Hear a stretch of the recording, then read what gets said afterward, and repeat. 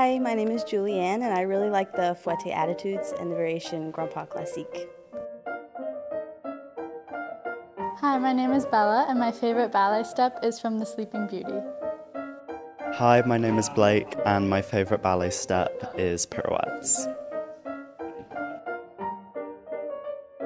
Hello, my name is Sunyi Han, and my favorite ballet step is Black Swan.